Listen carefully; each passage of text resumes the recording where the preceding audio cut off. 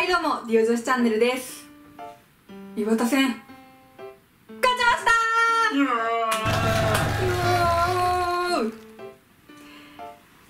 た！苦しかった。もう心臓がねはい。やばかったですね。後半ねもう心臓なくなっちゃうかと思うくらいもうドキドキでしたね。はい。同時視聴生放送の方もなんと最大同時視聴者数384名の方にお越しいただきまして本当にありがとうございました。いやー384名ですよ。うん。パブリックビューイングですよ。ね本当にそうだよね。コメント欄でもね、うん。熱いコメントたくさんいただいて本当に楽しく盛り上がることができました。ね本当に感謝ですね、はい。でもリアクション改めて見ると面白いよね。まあいいですね。本当に素だからね。なんかコメント欄でもね、うん。得点シーンとうん2点目とうん。あと試合終了のところか。うんうんうんうん。の時間つけてくれる人いらっしゃってね、うん。なかなかミムさんいい顔してまいいしたね。顔してたね、は改めて見てもね やっぱ感情がすごい伝わるなと思って。ね。本当に笑いあり涙ありの本当ですね。最高の試合でしたね。ではそんな激アツだった岩田戦のレビューいきたいと思います。どうぞ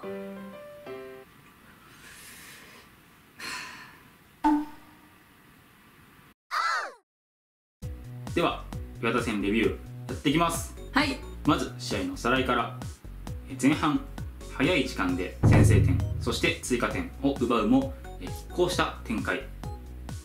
後半開始早々に同点にされね残りは岩田にひたすら押し込まれるという試合展開でしたね。でしたね。えまずキックオフしていきなり来ましたね。うん。中原選手が裏へ抜け出しえクロス。それを林選手が決めるこれに関しては両チームのね試合への入り方集中力の差がちょっと出ました。えー岩田もここまで簡単にね失点するチームではないのでうん。少しフラッとね試合に入ってしまったのかなと思います。あと林選手のゴールの動きに注目してほしいんですけど中に行く時に、まあ、当然マークに疲れてるじゃないですか。そこでディフェンダーと駆け引きをするんですよ。うん。あえて1回スピードをね落としてからもう1回スピードを入れ直して宮側に走っていく。それでフリーになっているんですよ。もうお手本のようなゴール前での駆け引き。ぜひ子供たちにも真似してほしいですね。こう身長の小さい子とかあと足の遅い子とかでも頭を使えばねゴール前の駆け引きでチャンスっていうのは作れるんですよ。なのでこの駆け引き本当に意識してほしいです。で話は戻りまして37分。半田選手の斜めに刺すパス。林選手の落とし中原選手のカットインからファーに巻いたシュートゴール。全て完璧でした。僕的には半田選手のくさびのパスがもうスーパーでしたね。あのパスで中原選手のマークについていた松本選手は完全にマークを外してしまいました。また相変わらず中原選手のキックも完璧。ビューティフルゴールでしたね。完璧でしたね。そして後半に行くわけなんですけど後半開始早々にモンテは失点してしまいました。はい。53分に山本選手からのクロス。大津選手がシュート。ビクトル選手が一旦弾くんですけどこれをルキアン選手に押し込まれる。このゴールもたまたまではなくて大津選手がわざと大外に1枚残って流れてくるボールに対応しているんですよ。うん。これは試合を通して多く見られていた光景でえクロスが多い岩田の、まあ、ルールとして定まっていましたモンテはこの大外の選手のケアが試合全体であんまりねうまくいってませんでしたね。えそして残りの後半はひたすら耐えました。前半はうまく抑えきれていた部分も次第にね岩田の勢いに押されて、まあ、シュートもものすごい量打たれましたね。もうね後半やばかったよね。ですが選手の皆さん本当によく走ってくれました。はい。その後は失点せず耐えきり2対1首位撃破そしてチームタイ記録の6連勝を収めました。本素晴らしいです。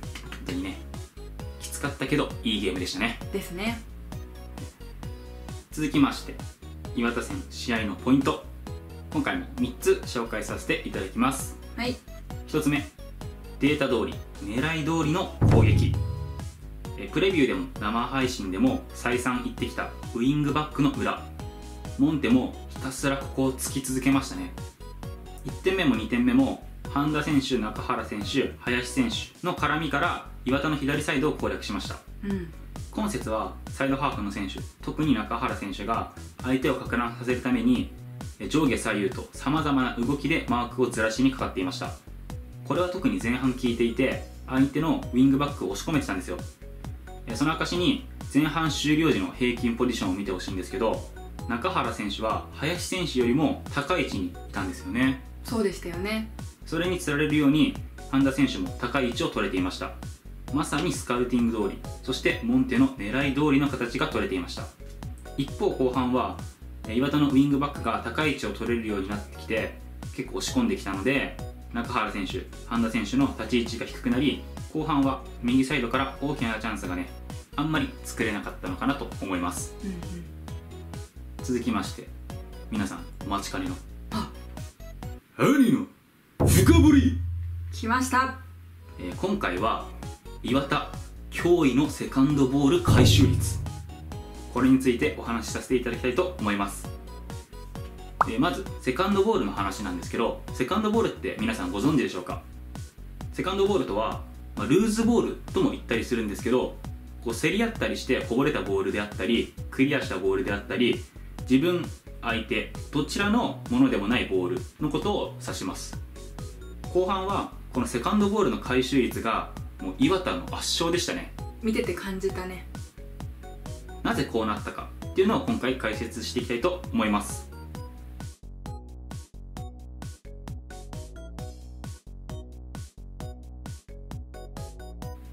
え試合を通してそもそもセカンドボールが生まれる数自体が今回はとても多かったですねうんうん。というのも岩田がクロスが多いのでそれをヘディング足などでクリアしたりボールがこぼれてくる回数自体がすごい多かったんですよ。なのでセカンドボール自体が多かったと。そしてこのセカンドボールを多く回収して何度も分厚く攻撃してくるのが岩田の特徴でもあります。そして岩田もこの回収率セカンドボールの回収率を高める多くの工夫をしてきているんです、えー岩田がセカンドボールを多く回収できた理由1つ目。シャドウが外に流れる。えー試合を見ててツーシャドウの選手えー山田裕樹選手と大須選手ですねがサイドに流れる回数って多くなかったですか？うんうん。でまずこの狙いとしては一番の理由はね、えーサイドで数的優位を作り崩しに入るっていうのが理由なんですよ。サイドの選手がサイドに流れてサイドから崩す。これが一番の理由なんですけどこのサイドに流れるっていうのがモンテのマークをずらす効果もありましたではちょっとねこれ図を見てもらってシャドウの選手がサイドに流れる。モンテのボランチの選手がついていく。クロスを上げられると。まあ岩田の狙い目はクロスを一発で決めることですよね当然。ですがこれがクリアされてしまいますと。そうなるとモンテとしてはボランチの選手が1枚外に吊り出されてしまっているのでセカンドボールを回収するべき中盤で岩田の選手の方が枚数的に多くなるんですよ。うんうん。なのでここでまた岩田の選手にセカンドボールを回収される。また攻められる。と何度も波状攻撃が生まれました。岩田がセカンドボールを多く回収できた理由2つ目。繰り返される大きなサイドチェンジ。え岩田は何度もサイドチェンジを繰り返しモンテの選手を何回も何回も大きく走らせてきました。ここでミムさんに問題です。はい。攻めている時のランニングと守っている時のランニングどちらが疲れるでしょうか？守っている時。正解です。イェイ守っている時のランニングってもうかなり疲れるんですよ、うん。全然違うんですよ、うんうん。精神的に。うん。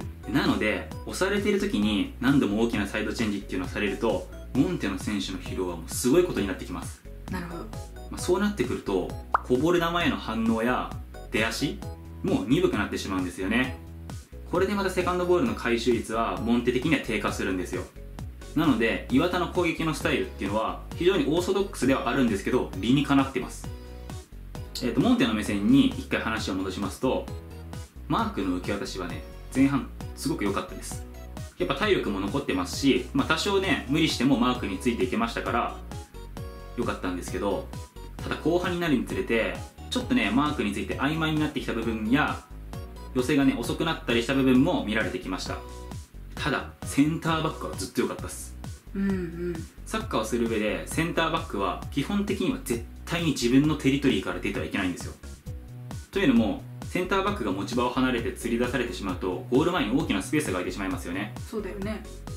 えですがえ岩田はねルキアン選手ワントップのルキアン選手も時々サイドに流れてくるんですよ。うん。ここにはねあえてセンターバック本当は持ち場を離れちゃいけないセンターバックが多少持ち場を離れても継続してルキアン選手のマークについてきました。先ほど言ったようにこれにはすごい大きなリスクがあるんですけどうん。山崎選手野田選手ともに持ち場を離れてマークについていった時は必ず潰しました。なるほこれはまあ言い方悪いですけどファール覚悟ででも潰してましたね、どうん。まあ、それだけリスクがあるっていうことなんですよ。センターバックが持ち場を離れるっていうことは。うんなので、まあ、そこまでリスクがあったとしてもついていくっていうのは今節モンテの守備陣のルールの一つだったのかなと僕は思います。前回の生配信でねマークの受け渡しについて解説してくださいというコメントがありましたので解説させていただいたんですけどどうでしょうかね。少し分かってくれましたかね。以上今回の「アーニン深掘り」岩田の驚異のセカンドボール回収率でした。3つ目。勝利するたびに強まるモンテの団結力。このテーマでは3つのシーンに注目です。得点後試合終了間際試合終了後です。まず得点後なんですけど DAZN でもバッチリ抜かれてましたね。うん。スタッフの熱い姿。ね。もう一丸で戦っている様子がはっきりと伝わってきました。さらに試合終了間際88分のシーンとかなんか特になんですけどベンチの選手たちもラインギリギリまで出てきてピッチにいる選手たちに声をかけてました。え最後に試合終了後の様子。笛が鳴るとねすぐにねこう丸くなってね一丸になって喜びを爆発させていました。しかもいい意味で笑顔が少なかったんですよ。なるほど。これは誰もねこの試合の勝利で満足せずにまだまだ行くぞっていう姿に僕には映りました。うんうんそしてベンチの選手たちとも喜び合うわけなんですけど心の底からね喜びを共有してましたね。まあ正直な話ですよ。やっぱ試合になかなか絡めない選手たちって100%悔しいし100%喜べるかっていうと僕はそうではないと思うんですよね。うん。これちょっと正直な話なんですけど。うんうん。でもやっぱその場ではその気持ちを押し殺してチームのために共に戦い全力で喜び合うと。まさに勝ち続けるチームの雰囲気なんですよね戦術云々よりサッカーではこれが一番大事だと僕は思います。本当にねチームだけでなくまあボスも呼びかけていましたけどサポーターも山形一丸で中断期間明けも共に臨みましょそうですね。うでは試合総括に移ります。今回も苦しいゲームでしたね。苦しかったです。まあ、岩田はさすがにあの位置にいるだけのチームです、本当に。でした。えっとシュートが26本で、枠内15本ですよ。でも26本って久々に見た数字ですよいや、本当に。うんしかし、ビクトル選手もすごかったですね。すごかった失点シーンもしっかり大津選手のシュート止めてましたし、うんこの試合特に目立ったのはシュートストップだけじゃなくて、クロスへの対応。これがもうすごかった。そして、モンテ的には6連勝ですよ。ですね13年ぶりクラブ記録タイの記録ですね素晴らしいの一言です。そもそもなんですけどもう普通はありえないんですよ。こういったポジショナルサッカーっていうものがこんなに早く染みつくっていうのは。うんうん。徳島だってあのリカルド・ロドリゲス体制4年目の昇格ですしうん。マリノスだってねポステコグルー監督1年目は残留争いしてましたからね。そうなんですね。それだけポジショナルサッカーっていうのは早く染みつけるのがすごい難しいサッカーの種類なんですけどうん。もう今回全てが噛み合った結果ですねやっぱりね石丸さんの基礎があってこうん。そというか、その通りだと思います。ね。はい。まあ、ちょっと話されましたけどえ試合自体は今シーズン一番苦しんで手にした勝利でしたがまずねかなり選手たちお疲れに見えたのでうん。一回リフレッシュして残り半分近くある後半戦同じく勢いね継続で臨んでほしいですね。そうですね。続きましてこちらのコーナー行きたいと思います。今節のディオ女子ズ Most Variable Player. 略して These MVP さあいやもうまあやってまいりましたけどもう決めらんないよ。決められないっすよ。どうするの？いやでも僕たちがやり始めた企画だからそこは責任を持って決めましょう、そうですね。はい、まずはもうチームの勢いを決定づけました。開始30秒のゴール林選手パーフェクトでしたね。はい。あと途中で名前も出しましたけどビクトル選手ですよね。うん。輝いてましたからね。素晴らしかったですね。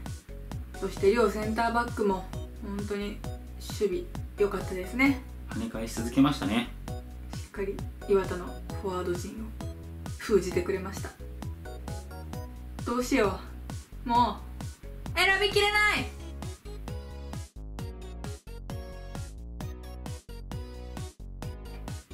はい決まりました。はい。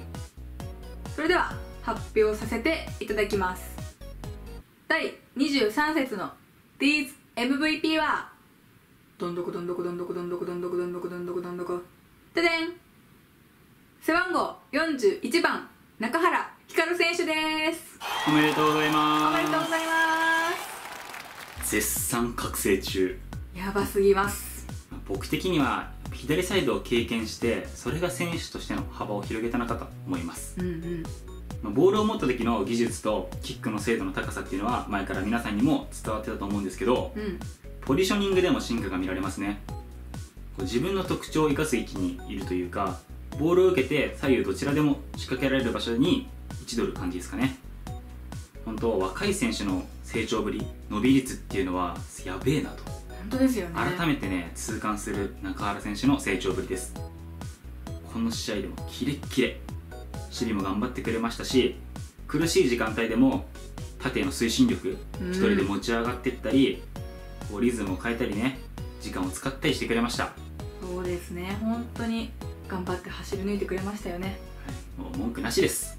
もうこのままさ若い選手皆さんもこの調子で覚醒していったら後半マジで楽しみだね楽しみが増えますよね、うん。まあ引き抜きが怖いですけど。確かに。ということで今節の These MVP は背番号41番中原光選手でした。以上で岩田戦レビュー終了となります。はい。で今回 DZMVP に中原選手選ばさせていただいたんですけど僕的にはねうん。もう一人超強く推したい選手がいます。うん。それは藤田選手ですねそうですよね。もう攻守に貢献。うん。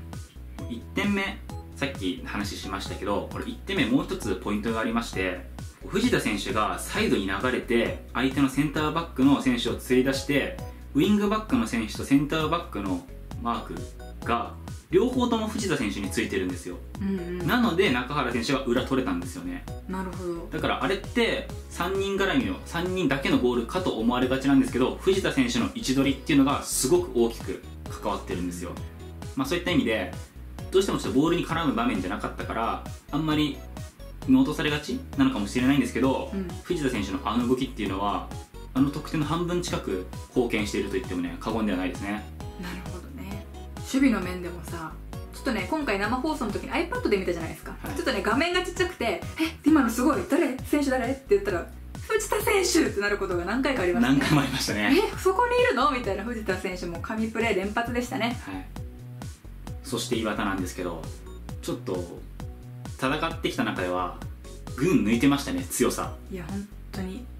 まあ一応前半戦が終わって後半戦始まりましたけどうんモンテが戦った中では僕的には岩田と京都がちょっと頭一つ抜けてるような印象はありましたね。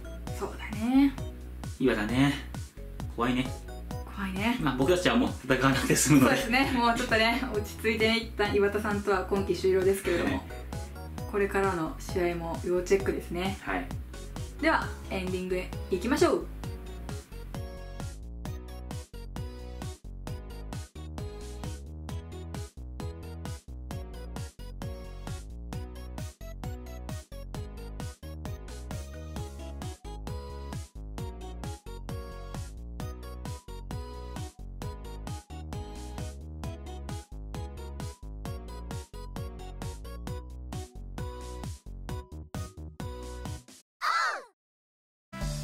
ということで岩田戦のレビュー動画いかがだったでしょうか？盛りだくさんでしたね。いやちょっと長くなっちゃって申し訳なかったですね。でもねそれほど岩田さんのサッカーがね素晴らしかったということでございます。あとねそういえばお気づきの方もいらっしゃると思うんですけどうん。エンディングのね画像が変わりました。そうだね。はい。ちょっとねもうちょっと修正が必要だそうなんですよ。ちょっとね 微妙なズレがね発生してるんですけどもそれはちょっとね後々修正します。はい改善します、はいそれでなんですけど、うん。えー、と今回のエンディングから、えー、と Twitter と Instagram ディオ女子の ID うん。つけたんですよ、なのでねぜひそちらの方もフォローしていただいてあとねぜひ「ハッシュタグディオ女子チャンネル」を使ってそうですね。たくさんツイートしていただきたいです。はい。盛り上げていただきたいなと思うんですけど。本当に試合の感想であったり、うん。僕たちへの意見でも何でも大丈夫なのでぜひぜひたくさんツイートしてください。お願いします。お願いしますいいねをね即つけに行きますのでよはい。ろしくお願いしまお願いします。す次の動画はもう企画ものですね。はいもう撮影は終わってますのでね、はい上がるかと思うのでそちらもぜひ見ていただけると嬉しいです。そちらの動画も皆さんのねコメントが欲しい動画なので確かに。ぜひコメントいただけると嬉しいです、はいお願いします。この動画が良かったな面白かったなと思っていただけたら高評価コメントチャンネル登録をよろしくお願いいたします。お願いします。次の動画もぜひ見ていただけると嬉しいです。それでは